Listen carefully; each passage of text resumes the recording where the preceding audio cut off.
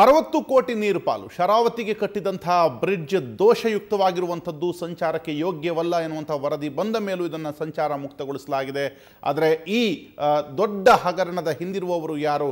ಇಷ್ಟು ದೊಡ್ಡ ಅಪಾಯ ಅಲ್ಲಿದ್ದರೂ ಕೂಡ ಅದನ್ನು ಸಂಚಾರ ಮುಕ್ತ ಹೇಗೆ ಗೊಳಿಸಲಾಯಿತು ಅನ್ನುವಂಥದ್ದು ಇಲ್ಲಿರುವಂಥ ಪ್ರಶ್ನೆ. ಸಂಬಂಧವಾಗಿ ಸ್ಥಳೀಯ ವಕೀಲರಾದಂಥ ಸುಬ್ರಹ್ಮಣ್ಯ ನಾಯಕ್ ನಮ್ಮ ಜೊತೆ ಸಂಪರ್ಕಲಿದ್ದಾರೆ ಸುಬ್ರಹ್ಮಣ್ಯ ನಾಯಕ್ ಅವರೇ, ಈ ಒಂದು ಶರಾವತಿಯ ಬ್ರಿಡ್ಜ್ಗೆ ಎರಡು ವರದಿ ಬರುತ್ತೆ. ಮೊದಲ ವರದಿ ಸಂಚಾರಕ್ಕೆ ಯೋಗ್ಯವಲ್ಲ ಅನ್ನುವಂಥದ್ದು, ಇನ್ನೊಂದು ವರದಿ ಸಂಚಾರಕ್ಕೆ ಯೋಗ್ಯ ಇದೆ ಎನ್ನುವಂಥದ್ದು. ಅದನ್ನೇ ನಂಬಿ ನಮ್ಮ ಜಿಲ್ಲಾಧಿಕಾರಿಗಳು ಅಲ್ಲಿ ಸಂಚಾರಕ್ಕೆ ಅವಕಾಶವನ್ನು ಮಾಡಿಕೊಟ್ಟಿದ್ದಾರೆ ಎನ್ನುವಂಥದ್ದು ಕೂಡ.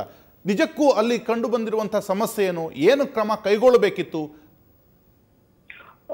ಇದು ನ್ಯಾಷನಲ್ ಹೈವೇಸ್ ಅಥಾರಿಟಿ ಆಫ್ ಇಂಡಿಯಾದವರ ಅಡಿಯಲ್ಲಿ ನೇಮಕಗೊಂಡಂತ ಒಂದು ಗುತ್ತಿಗೆ ಸಂಸ್ಥೆ ಕಾಮಗಾರಿ ಆರಂಭಿಸಿದೆ. ಈ ಕಾಮಗಾರಿಯನ್ನ ಸೂಪರ್ವಿಸನ್ಗಾಗಿ ಎರಡು ಪ್ರತಿಷ್ಠಿತ ಕನ್ಸಲ್ಟೆಂಟ್ ಕಂಪನಿಗಳಿದ್ದಾವೆ ಆ ಕನ್ಸಲ್ಟೆಂಟ್ ಕಂಪನಿಗಳ ಸಹ ಕಂಪನಿಗಳು ಸಹ ಈ ಒಂದು ಪಿ ಒನ್ ಪಿ ಟು ಪ್ಯಾನ್ ಹತ್ತಿರ ಆ, ಬೇರಿಂಗ್ ಬಾಗಿದೆ ಹೇಳುವಂತಹ ಒಂದು ವರದಿಯನ್ನ ಇಪ್ಪತ್ತೇಳು ಎರಡಕ್ಕೆ ಇಪ್ಪತ್ತೇಳು ಎರಡು ಎರಡ್ ಸಾವಿರದ ಹದಿನೇಳರಂದು ಕಂಪನಿ ಗುತ್ತಿಗೆ ಕಂಪನಿಗೆ ನೀಡಿದ್ದಾರೆ.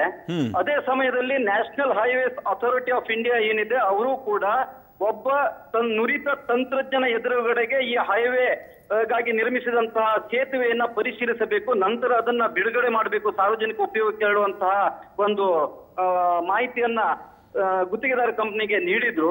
ಆ ನಂತರವೂ ಕೂಡ ಗುತ್ತಿಗೆದಾರ ಕಂಪನಿ ಅವರ ಮಾತನ್ನ ಪರಿಶೀಲನೆ ಮಾಡದೆ ಅದನ್ನು ಸಾರ್ವಜನಿಕ ಬಳಕೆಗೆ ತೆರವು ಮಾಡಿದೆ.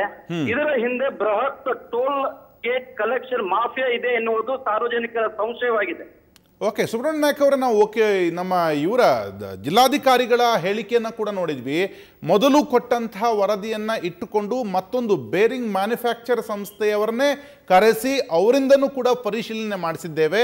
ಅವರು ಹೇಳುವ ಪ್ರಕಾರ ಇದು ತಾಂತ್ರಿಕವಾಗಿ ಒಂದು ಸಣ್ಣ ಸಮಸ್ಯೆ. ಹಾಗಾಗಿ ಸಂಚಾರಕ್ಕೆ ಅದನ್ನು ಮುಕ್ತಗೊಳಿಸಿ ತದನಂತರ ಸರಿಪಡಿಸ್ಕೊಳ್ಬೋದು ಹಾಗಾಗಿ ಇದನ್ನು ಸಂಚಾರಕ್ಕೆ ಬಿಡುಗಡೆಗೊಳಿಸಿದ್ದೇವೆ ಅನ್ನುವಂಥದ್ದು. ಈ ವರದಿ ಹಾಗಿದ್ರೆ. ಕನ್ಸಲ್ಟೆಂಟ್ ಕಂಪನಿಗಳ ನೇಮಕ ಮಾಡುವ ಅಗತ್ಯವೂ ಇಲ್ಲಿ ಕಂಡು ಬರ್ತಾ ಇಲ್ಲ. ಕನ್ಸಲ್ಟೆಂಟ್ ಕಂಪನಿಗಳು ಅಂತಂದ್ರೆ ಅದು ನುರಿತ ತಂತ್ರಜ್ಞರ ಒಂದು ಸಮೂಹ. ನುರಿತ ತಂತ್ರಜ್ಞರ ಸಮೂಹ ನೀಡಿದಂತಹ ವರದಿ ನ್ಯೂನ್ಯತೆಯಿಂದ ಕೂಡಿರ್ಲಿಕ್ಕೆ ಸಾಧ್ಯವಿಲ್ಲ. ಇದು ಸಣ್ಣ ಮಟ್ಟದ ಲೋಪವಲ್ಲ ಇದು. ಇದರ ಹಿಂದೆ ಯಾವುದೋ ಒಂದು ಕಾಣದ ಕೈವಾಡ ಇದೆ. ಪ್ರತಿಷ್ಠಿತರ ಸಹಭಾಗಿತ್ವದಲ್ಲಿ ಗುತ್ತಿಗೆದಾರ ಕಂಪನಿಗಳು ಇದ್ದದ್ದರಿಂದ ಆ ಎಲ್ಲ ತಪ್ಪುಗಳನ್ನ ಮರೆಮಾಚಿ ಅದು ಸಂಚಾರಕ್ಕಾಗಿ ಮುಕ್ತಗೊಳ್ಳುತ್ತಿದೆ ಹೇಳುವಂತ ಅನುಮಾನ ಸಾರ್ವಜನಿಕರಾಗಿದೆ ಸಾರ್ವಜನಿಕರ ಜೀವನ ಜೊತೆಗೆ ಚೆಲ್ಲಾಟ ಮಾಡುವುದನ್ನ ನಾವು ಖಂಡಿತವಾಗಿಯೂ ನಮ್ಮ ಸ್ಥಳೀಯ ನಾಗರಿಕರು ಅದನ್ನ ಖಂಡಿಸ್ತೇವೆ. ಈಗ ನ್ಯಾಷನಲ್ ಹೈವೇ ಅಥಾರಿಟಿ ಅವ್ರ ಗಮನಕ್ಕೆ ಏನಾದ್ರು ತಮ್ಮ ಕಡೆಯಿಂದ ಅಥವಾ ಗ್ರಾಮಸ್ಥರ ಕಡೆಯಿಂದ ಏನಾದ್ರು ಒಂದು ಮೆಸೇಜ್ ಕೊಟ್ಟಿದ್ದೀರಾ? ಈ ರೀತಿಯ ಸಮಸ್ಯೆ ಇಲ್ಲಾಗಿದೆ ಅನ್ನುವಂಥದ್ರ ಬಗ್ಗೆ ಅವರ ಗಮನಕ್ಕಿದೆಯಾ ಇದು? ಅಥಾರಿಟಿ ಆಫ್ ಇಂಡಿಯಾ ಅವರ ಅಧಿಕಾರಿಗಳನ್ನ ಸಂಪರ್ಕಿಸ ಪ್ರಯತ್ನ ಮಾಡಿದ್ದೇವೆ. ಸಂಪರ್ಕಿಸಲು ಪ್ರಯತ್ನ ಮಾಡಿದಾಗ ಅವರು ಫೋನ್ ಅನ್ನ ರಿಸೀವ್ ಮಾಡಲಿಲ್ಲ. ನಂತರ ಈಗ ಏನು ಐ ಆರ್ ಬಿ ಕಂಪನಿಯವರು ಕೂಡ ನಮ್ಮ ಫೋನಿಗಾಗ್ಲಿ ನಮ್ಮ ಸಂಪರ್ಕಕ್ಕೆ ಸಿಗ್ತಾ ಇಲ್ಲ. ಕನ್ಸಲ್ಟೆಂಟ್ ಕಂಪನಿಯವರು ಫಸ್ಟ್ಗೆ ಅದನ್ನ ನಾವು ಪಿ ಡಿ ಅವ್ರ ಜೊತೆ ಚರ್ಚಿಸಿ ಅದನ್ನ ಕ್ರಮ ತಗೊಳ್ತೇವೆ ಅಂತವರು ಕೂಡ ನಂತರ ನಮ್ಮ ಫೋನ್ ಅನ್ನ ರಿಸೀವ್ ಮಾಡ್ಲಿಕ್ಕೆ ಆ, ಒಪ್ತಾ ಇಲ್ಲ. ಹಾಗಾಗಿ ಈ ಏಳು ಸುತ್ತಿನ ಕೋಟೆಯನ್ನ ಮುರಿಯೋರು ಯಾರು ಹೇಳುವಂತ ಪ್ರಶ್ನೆ ಇಲ್ಲಿ ಉದ್ಭವವಾಗಿದೆ. ಕೇಂದ್ರ ಸರ್ಕಾರ ಪ್ರಾಮಾಣಿಕತೆಗಳ ಬಗ್ಗೆ ಮಾತಾಡ್ತಾ ಇದೆ. ಕೇಂದ್ರ ಸರ್ಕಾರವೇ ಈ ಒಂದು ಲೋಪವನ್ನ ಸರಿಪಡಿಸಲಿಕ್ಕೆ ಮುಂದಾಗಬೇಕು ಹೇಳೋದು ನನ್ನ ವೈಯಕ್ತಿಕ ಅಭಿಪ್ರಾಯ. ಈ ಯಾವ ಧೈರ್ಯದಲ್ಲಿ ಈಗ ಈ ಈ- ಈ ಒಂದು ಸೇತುವೆನ ಸಂಚಾರ ಮುಕ್ತಗೊಳಿಸಲಾಗಿದೆ ಅನ್ನುವಂಥದ್ದು? ಈ ಧೈರ್ಯ ಅಂತಂದ್ರೆ ಇದು ಫಾರ್ ದ ಟೆಸ್ಟಿಂಗ್ ಪೀರಿಯಡ್ ಅಂತ ಹೇಳ್ತಾ ಇದ್ದಾರೆ ಅವರು. ಹಾ. ಟೆಸ್ಟಿಂಗ್ ಪೀರಿಯಡ್ ಅಲ್ಲಿ ಮುಂದಿನ ಬದಲಾವಣೆ ಏನಾಗ್ತದೆ ಹೇಳಿ ತಿಳ್ಕೊಂಡು ನಂತರ ಅದರಲ್ಲಿ ಸರಿಪಡಿಸ್ತೇವೆ ಅಂತ ಹೇಳುವಂತ ಒಂದು ಮಾತನ್ನ ಇಲ್ಲಿ ಸ್ಥಳೀಯ ಕಂಪನಿಗಳು ಹೇಳ್ತಾ ಇದ್ದಾವೆ. ಸ್ಥಳೀಯರಿಂದ ಈಗ ಮುಂದಿನ ಕ್ರಮ ಏನು ಸರ್? ಸ್ಥಳೀಯ ಸ್ಥಳೀಯರಾಗಿ ನಾವೆಲ್ಲರೂ ಈಗ ವಿವಿಧ ಸಂಘಟನೆಗಳು ಇದ್ದಾವೆ. ಅವರೆಲ್ಲ ನಮ್ಮ ಸಂಪರ್ಕದಲ್ಲಿದ್ದಾರೆ. ಆ ಸ್ಥಳೀಯ ಸಂಸ್ಥೆಗಳು ಈ ಬಗ್ಗೆ ನಮ್ಮ national highways authority of India ಜೊತೆಗೆ ನಮ್ಮ ಜನಪ್ರತಿನಿಧಿಗಳು ಏನು ಮೌನ ವಹಿಸಿದ್ದಾರೆ.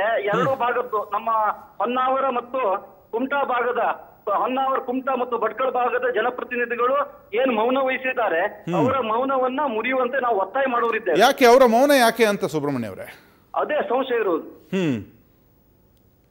ಸೊ ಹಾಗಾಗಿ ಅವರ ಜನಪ್ರತಿನಿಧಿಗಳ ಮೌನ ಒಂದು ಕಡೆ ಇನ್ನೊಂದು ಕಡೆ ಇದೊಂದು ಟೆಸ್ಟಿಂಗ್ ಪೀರಿಯಡ್ ಅಂತ ಇಷ್ಟು ದೊಡ್ಡ ಸಮಸ್ಯೆ ಇದ್ದರೂ ಕೂಡ ಅದನ್ನು ಸಂಚಾರಕ್ಕೆ ಮುಕ್ತಗೊಳಿಸಿದ್ದಾರೆ. ಮುಂದೊಂದು ದಿವಸ ಇದು ಅಪಾಯಕ್ಕೆ ಆಹ್ವಾನ ನಾವೇ ಕೊಟ್ಟಂತಲ್ವಾ?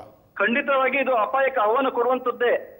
ಯಾಕಂದ್ರೆ ಇದು ಮಂಗಳೂರು ಮತ್ತು ಗೋವಾವನ್ನು ಬೆಸೆಯುವಂತ ಒಂದು ಬೃಹತ್ ಸೇತುವೆ. ಈ ಸೇತುವೆ ಮೇಲೆ ಲಕ್ಷಾಂತರ ಜನ ಓಡಾಡ್ತಾರೆ. ಸಾವಿರಾರು ವಾಹನಗಳು ಓಡಾಡ್ತವೆ. ನೂರಾರು ಟನ್ ಭಾರದ ಮಂಗಳೂರು ಭಾಗಗಳಿಗೆ ಮತ್ತು ಗೋವಾ ಭಾಗಗಳಿಗೆ ಓಡಾಡುವಂತಹ ಮತ್ತು ಉದ್ದಿಮೆಗೆ ಸಂಬಂಧಪಟ್ಟಂತಹ ವಾಹನಗಳು ಓಡಾಡ್ತಾ ಇರ್ತವೆ. ಯಾವುದೇ ಕ್ಷಣದಲ್ಲಿ ಈ ಒಂದು ಸೇತುವೆ ಅಪಾಯವನ್ನ ತೆರೆದಿಡಬಹುದು ಎನ್ನುವ ಸಂಶಯ ನಮ್ದಾಗಿದೆ. ಜಿಲ್ಲಾಧಿಕಾರಿಗಳಿಗಾದ್ರೂ ನೀವು ಮನವರಿಕೆ ಮಾಡಿಕೊಡ್ಬಹುದಿತ್ತಲ್ಲ? ಜಿಲ್ಲಾಧಿಕಾರಿಗಳಿಗೆ ಸ್ವತಃ ನಮ್ಮ ಪತ್ರಿಕಾ ಮಾಧ್ಯಮದವರು ಕೂಡ ಫೋನ್ ಮೂಲಕ ಸಂಪರ್ಕಿಸಿದ್ದಾರೆ ಅವರು ಹೇಳಿಕೆಯನ್ನು ಕೊಟ್ಟಿದ್ದಾರೆ. ಈಗಾಗಲೇ ಪತ್ರಿಕೆಗಳಲ್ಲಿ ಅವರ ಹೇಳಿಕೆಗಳು ಬಂದಿವೆ. ಹ್ಮ್ ಹ್ಮ್. ಅಂದ್ರೆ ಈಗ ಈಗ ಸಂಚಾರಕ್ಕೆ ಮುಕ್ತ ಮಾಡಿರುವಂತಹದ್ದು ನಿಮಗೆ ಸ್ಥಳೀಯರಿಗೆ ನಿಜಕ್ಕೂ ಒಂದು ಆತಂಕವೇ ಸರಿ? ಸ್ಥಳೀಯರಿಗೂ ಹೌದು. ನಮ್ಮ ಹೊರ ತಾಲೂಕಿ ಈ ಮೂಲಕ ಶರಾವತಿ ಮೂಲಕ ದಾಟಿ ಹೋಗುವಂತ ಪರ ಊರಿನ ಜನರಿಗೂ ಇದು ಆತಂಕವನ್ನ ಸೃಷ್ಟಿಸಿದೆ. ಥ್ಯಾಂಕ್ ಯು ಸುಬ್ರಹ್ಮಣ್ಯ ನಾಯಕ್ ಅವರ ಸುವರ್ಣ ನ್ಯೂಸ್ ಜೊತೆ ಮಾತನಾಡಿದಕ್ಕೆ ಇದು ಅಲ್ಲಿನ ಸ್ಥಳೀಯ ವಕೀಲರು ಹೇಳುವಂತಹ ಮಾತು, ಒಂದೊಮ್ಮೆ ಇದು ಇನ್ನೊಂದು ವರದಿ ಬಂದು ಇದರಲ್ಲಿ ದೋಷ ಇಲ್ಲ ಅಂತ ಹೇಳೋದಾದರೆ, ಮೊದಲಿನ ಎಕ್ಸ್ಪರ್ಟ್ ಕಮಿಟಿ ಯಾಕೆ ಬೇಕು ಅವರ ವರದಿ ಯಾಕೆ ಬೇಕು ನೀವು ನೀವು, ನೀವೇ ನಿರ್ಧಾರವನ್ನು ತೆಗೆದುಕೊಳ್ಳಿ, ಇದರ ಹಿಂದಿದೆ ಒಂದು ಟೋಲ್ ಮಾಫಿಯಾ ಅನ್ನುವಂಥದ್ದು, ಸೇತುವೆ ಹೇಗೆ ಇದ್ದರೂ ಸರಿ, ಮೊದಲು ಇದನ್ನು ಸಂಚಾರ ಮುಕ್ತಗೊಳಿಸಿ, ಟೋಲ್ ವಸೂಲಿ ಮಾಡೋದು ಇದರ ಹಿಂದಿರುವ ಉದ್ದೇಶ ಅನ್ನುವಂಥದ್ದನ್ನು ತುಂಬ ಸ್ಪಷ್ಟವಾಗಿ ಅಲ್ಲಿನ ಸ್ಥಳೀಯರು ಹೇಳ್ತಿದ್ದಾರೆ. ಹಾಗಾಗಿ ಇದು ನಿಜಕ್ಕೂ ಒಂದು ದುರಂತಕ್ಕೆ ಆಹ್ವಾನ ಕೊಟ್ಟಂತೆ ಅನ್ನುವಂಥ ಮಾತು